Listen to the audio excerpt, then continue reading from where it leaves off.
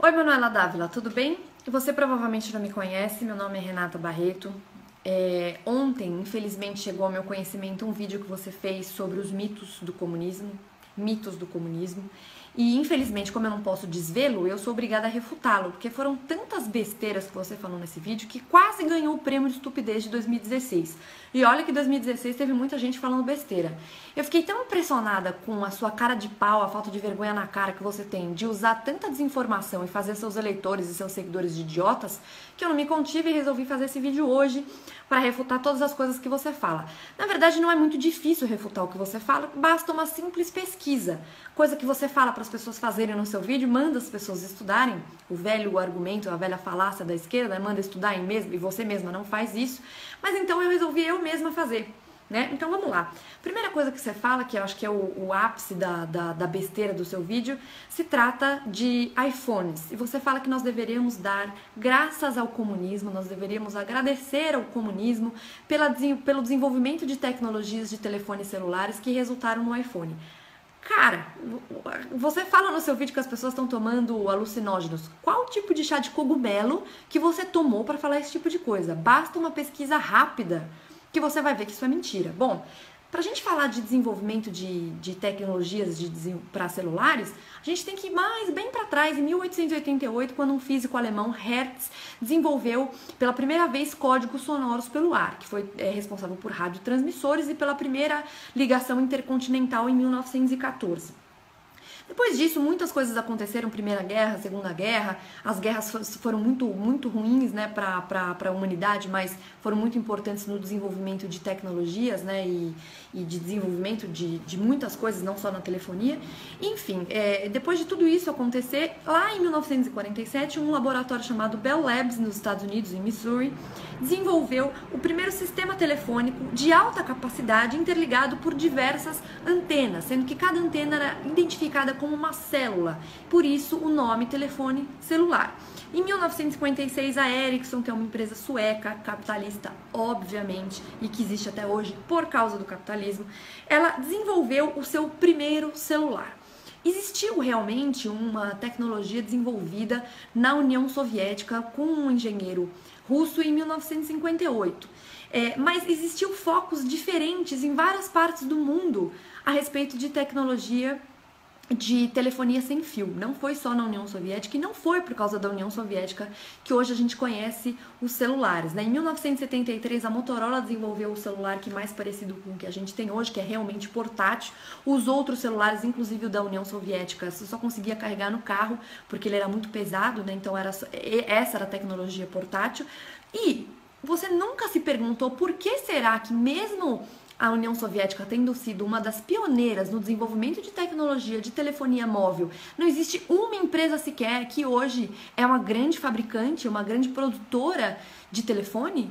Não como a, como a Apple? Você nunca se perguntou isso? Por que será? Né? Porque na União Soviética você simplesmente não era estimulado a desenvolver essas tecnologias se o Estado achasse que não era necessário, que não era importante. E como não foi né? Inclusive, no, na União Soviética seria muito perigoso você desenvolver um, um sistema de telefonia móvel que as, as, pessoas pudessem se comunicar mais facilmente, porque afinal de contas o propósito deles era censurar qualquer tipo de pensamento diferente da, da, da União Soviética, né? Então, obviamente que isso não poderia dar certo.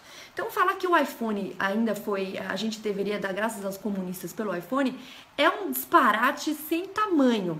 Inclusive, muitos comunistas falam: ah, onde é que está escrito no livro do Karl Marx que eu não posso ter iPhone? Ora, no primeiro, no primeiro capítulo do Capital está escrito sobre, ele fala sobre o fetiche da mercadoria, que a mercadoria ela normalmente tem um preço muito elevado em relação ao que deveria ser o preço real, porque é para manter o status da burguesia, né, que é um, um valor que transcende a realidade e que a mercadoria principalmente em larga escala, coisa que ele abominava, era uma coisa de burguês. Então, se você realmente segue o comunismo e segue os ensinamentos do Marx, você deveria não ter iPhone. Mas o que esperar de uma pessoa que se diz comunista e vai fazer enxoval do seu bebê nos Estados Unidos, vai passar férias nos Estados Unidos, né? O paraíso capitalista. Realmente, hipocrisia é uma coisa que você faz muito bem. Bom, depois você fala do, do Jorge Amado que o Jorge Amado é, ele era comunista e que a gente deveria, se você gosta do, do Jorge Amado, você não, não deveria é, abominar o, o, comunismo? Bom, primeiro que por que, que alguém que faz um livro, uma música ou qualquer tipo de arte, necessariamente se eu gosto do que ele faz, eu preciso concordar com a ideologia política dele? É óbvio que não. E em segundo lugar, o próprio Jorge Amado se desiludiu com o comunismo e largou isso depois de um tempo, deu várias entrevistas a respeito disso, coisa que você não foi pesquisar, né? Como você diz no seu vídeo, você não foi dar uma estudadinha, né, Manuela? Aí você fala do Nelson Mandela, que o Nelson Mandela tem uma foto com o Fidel e que o Mandela foi um cara que foi muito bom para a África do Sul, que ele foi contra o racismo e que ele foi preso e fez um deboche lá com as pessoas que dizem que racismo não existe. É lógico que o racismo existe, mas você sabia que o Mandela foi responsável pela morte de diversos negros? Ele era um homem extremamente violento, ele fez parte de uma organização terrorista chamada Congresso Nacional da África. Ele foi do Partido Comunista da África do Sul. Entre 1980 e 1994, milhares de civis inocentes foram mortos a mando do Mandela ou autorizados pelo Mandela, e ele inclusive fala disso no livro, na autobiografia dele. Ele confessa que ele foi mandante dessas mortes. A mulher do Mandela já falou é, publicamente né, que, que a, os métodos que eles encontraram para matar esses civis eram, era o que ia libertar o, o, povo, né, ia libertar a África do Sul. Sabe aquela cena do, do, do Capitão Nascimento no Tropa de Elite? Aliás, não é o Capitão Nascimento que faz essa cena, mas enfim, aparece no Tropa de Elite um que eles chamam de micro-ondas, né? Que você coloca a pessoa é, entre vários pneus e taca fogo. Eles faziam isso já na África do Sul para matar esses civis e eles chamavam isso de necklace. E a mulher do Mandela achava isso bacana, achava isso legal. Depois que o Mandela ascendeu à presidência, o índice de criminalidade na África do Sul cresceu muito.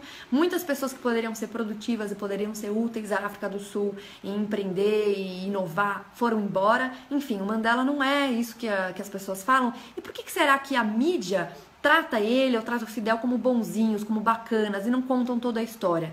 Como diria o seu próprio e querido Marx, é, o primeiro campo de batalha é a reescrita da história. Então, para você enganar esse monte de pessoa que você gosta de enganar, você tem que reescrever a história. E a mídia é ótima de fazer esse tipo de coisa. Bom, depois disso, você fala é, sobre a expressão de que comunistas comem criancinhas, né? Fazendo um novo. Fazendo um, um, um deboche ainda dizendo que, na verdade, crianças, no comunismo, crianças comem é, eu acho que você realmente não estudou nada, você não fez uma mínima pesquisa no Google para saber que essa expressão de comunistas comem criancinhas, ela nasceu porque existiu, existiram vários focos de fome na União Soviética, o mais drástico na Ucrânia entre 1932 e 1933, conhecido como Holodomor. E lá, é, por conta das políticas do Stalin, que simplesmente matou milhares e milhares de pessoas de fome, as pessoas tinham que comer rã, rato, grama ou qualquer coisa que tivesse na frente. Inclusive, começaram a praticar canibalismo, comendo seus próprios filhos. Então isso existiu sim na Ucrânia, tá, está registrado na história, não sou eu que estou inventando, não, não é um, um, um, delírio que nem é o seu vídeo, entendeu? É uma coisa que realmente existiu e você ignora isso. E aí você fala que nos países comunistas as crianças comem, citando a taxa de 0% de desnutrição em Cuba. Só que você não leva em consideração que, primeiro, os dados de Cuba são extremamente duvidosos, mas mesmo que a gente for levar em consideração os dados e deixar é, é, dizer que isso realmente está certo Cuba é um dos países mais miseráveis da América Latina, que sofre muito com a pobreza. E você fala de Cuba e se esquece da Venezuela, a partir do qual o seu, o seu partido aliás, o país o qual o seu partido apoiou a ascensão do Hugo Chávez, apoiou a ascensão de Maduro, e não só na época que eles entraram no poder, mas até hoje, em junho agora de 2006, o PCdoB fez uma nota é, é, apoiando o Maduro e apoiando a soberania da Venezuela, vocês ignoram completamente o sofrimento de milhares de pessoas que estão passando fome. 87% da população na Venezuela não come direito, tem que escolher entre café da manhã, almoço jantar, isso quando dá para escolher. Muitos deles estão vindo para o Brasil, né, nos estados que fazem fronteira com a Venezuela, atrás de comida, atrás de emprego, atrás de qualquer coisa, e você convenientemente esquece disso. Então você vai me dizer que nos países comunistas ou socialistas as crianças comem é uma grande mentira e você deve saber disso. Isso é só falta de vergonha na cara mesmo, né? Aí você fala que o Haiti e o México são países capitalistas e que as pessoas não enxergam isso. O capitalismo ele não é perfeito, ele tem diversos problemas, mas não é assim que a gente consegue consertar, né? Não é com socialismo e muito menos com comunismo que a gente consegue consertar esses problemas. E para onde que fogem, né? As pessoas no México e no Haiti que estão com problemas e querem é, buscar alguma nova oportunidade para os Estados Unidos para os Estados Unidos, para o lugar onde vocês falam tão mal e onde você vai para as suas férias, né? De novo, falando disso, que acho que é, é, a gente tem que deixar isso bem claro, que em vez de você ir para Cuba, você vai para os Estados Unidos, né? Em vez de ir para Venezuela, você vai para os Estados Unidos. É óbvio, né? Ninguém quer ir lá ficar passando fome nem necessidade, porque nem papel higiênico, nem pasta de dente você vai encontrar. Aí você fala que a Cuba tem saúde e educação de ponta. Aonde, Manuela? De novo, usando os dados duvidosos de Cuba para dizer que lá é legal. Você já foi para lá? Você já viu como é que funciona? Você já viu alguns vídeos vinculados na internet do sistema de saúde de Cuba que é horrível, que as pessoas ficam esperando é, por horas nos, nos, nos hospitais e nos lugares, não tem luva para os médicos, não tem remédio, não tem nada. É um sistema horrível. Ah, mas a OMS diz que é bom. É lógico, a OMS leva em consideração o que Cuba disse para eles. Então é claro que vai ser bom. E a educação? Não tem analfabetismo, mas as pessoas lá só podem ler aquilo que o governo deixa elas lerem. Você acha que isso é legal? Você acha que isso é bacana? Você coloca uma blusinha escrito gentileza gera gentileza e você se esquece do mais humanitário dos direitos, que é de ir e vir? Sabe, Manuela, você realmente você eu fico indignada com pessoas como você. Você fala que é, as pessoas falam muita besteira na internet, né? Que as pessoas é, fazem feio falando besteira na internet e você própria não se dá conta do quão ridículo foi esse vídeo, do quanta, de quanta desinformação você propaga e de quanta falta de vergonha na cara, falta de caráter mesmo você tem. Oi, Manuela Dávila, tudo bem? Você provavelmente não me conhece, meu nome é Renata Barreto, é, ontem, infelizmente, chegou ao meu conhecimento um vídeo que você fez sobre os mitos do comunismo, mitos do comunismo, e infelizmente, como eu não posso desvê-lo, eu sou obrigada a refutá-lo, porque foram tantas besteiras que você falou nesse vídeo que quase ganhou o prêmio de estupidez de 2016. E olha que 2016 teve muita gente falando besteira. Eu fiquei tão impressionada com a sua cara de pau, a falta de vergonha na cara que você tem de usar tanta desinformação e fazer seus eleitores e seus seguidores de idiotas, que eu não me contive e resolvi fazer esse vídeo hoje para refutar todas as coisas que você fala. Na verdade, não é muito difícil refutar o que você fala, basta uma simples pesquisa. Coisa que você fala para as pessoas fazerem no seu vídeo, manda as pessoas estudarem. O velho argumento, a velha falácia da esquerda, manda estudar em mesmo, e você mesma não faz isso. Mas então eu resolvi eu mesma fazer. Né? Então vamos lá. Primeira coisa que você fala, que eu acho que é o, o ápice da, da, da, besteira do seu vídeo, se trata de iPhones. E você fala que nós deveríamos dar graças ao comunismo, nós deveríamos agradecer ao comunismo pela, pelo desenvolvimento de tecnologias de telefones celulares que resultaram no iPhone. Cara, você fala no seu vídeo que as pessoas estão tomando alucinógenos. Qual tipo de chá de cogumelo que você tomou para falar esse tipo de coisa? Basta uma pesquisa rápida que você vai ver que isso é mentira. Bom, para a gente falar de desenvolvimento de, de tecnologias de, para celulares, a gente tem que ir mais bem para trás, em 1888, quando um físico alemão, Hertz, desenvolveu pela primeira vez códigos sonoros pelo ar, que foi é, responsável por radiotransmissores e pela primeira ligação intercontinental em 1914. Depois disso, muitas coisas aconteceram, Primeira Guerra, Segunda Guerra, as guerras foram muito, muito ruins né, para a humanidade, mas foram muito importantes no desenvolvimento de tecnologias né, e, e de desenvolvimento de, de muitas coisas, não só na telefonia.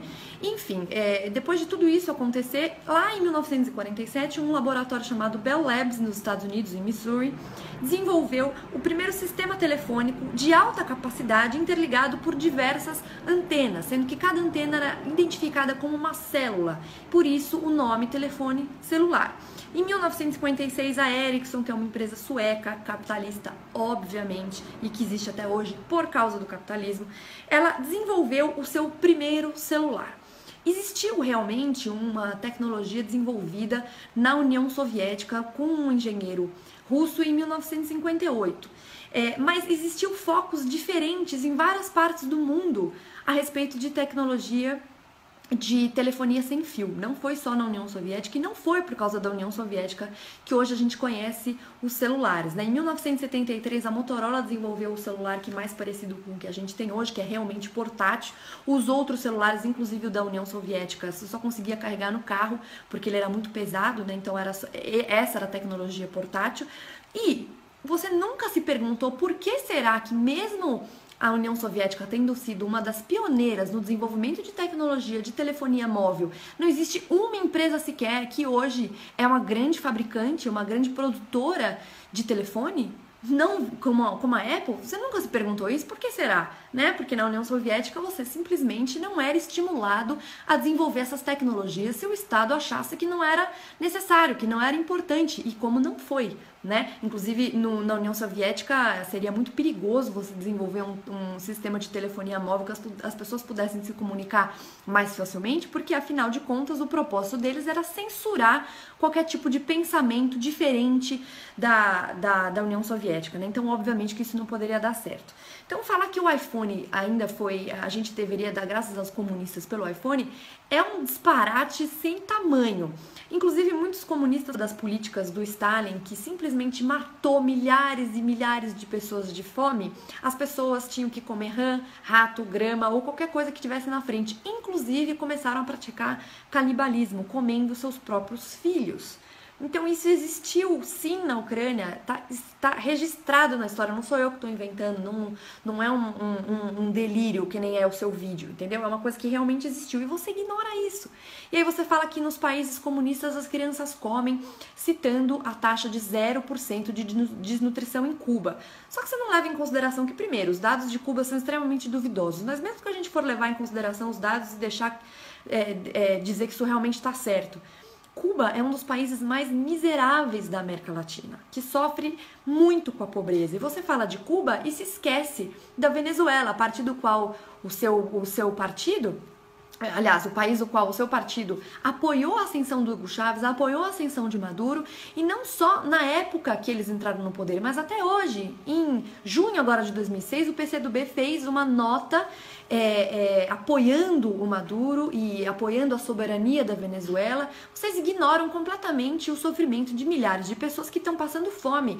87% da população na Venezuela não come direito, tem que escolher entre café da manhã, almoço jantar, isso quando dá para escolher. Muitos deles estão vindo para o Brasil, né, nos estados que fazem fronteira com a Venezuela, atrás de comida, atrás de emprego, atrás de qualquer coisa, e você convenientemente esquece disso. Então você vai me dizer que nos países comunistas ou socialistas as crianças comem, é uma grande mentira e você deve saber disso. Isso é só falta de vergonha na cara mesmo, né?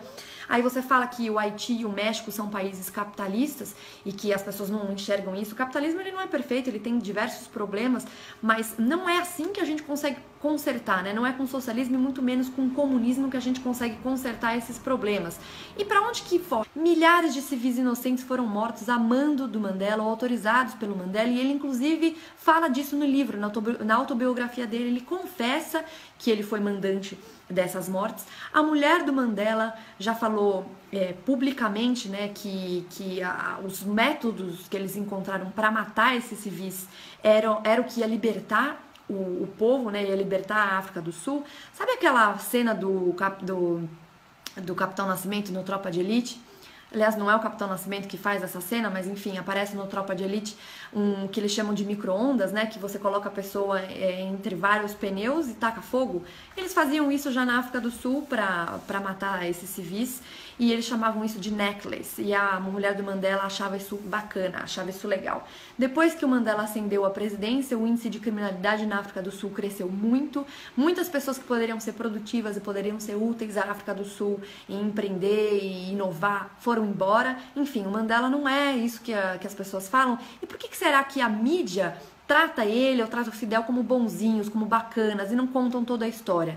Como diria o seu próprio e querido Marx, é, o primeiro campo de batalha é a reescrita da história. Então, para você enganar esse monte de pessoa que você gosta de enganar, você tem que reescrever a história. E a mídia é ótima de fazer esse tipo de coisa. Bom, depois disso, você fala é, sobre a expressão de que comunistas comem criancinhas, né? Fazendo um novo fazendo um, um, um, deboche ainda dizendo que na verdade crianças no comunismo crianças comem é, eu acho que você realmente não estudou nada, você não fez uma mínima pesquisa no Google para saber que essa expressão de comunistas comem criancinhas, ela nasceu porque existiu, existiram vários focos de fome na União Soviética, o mais drástico na Ucrânia entre 1932 e 1933, conhecido como Holodomor.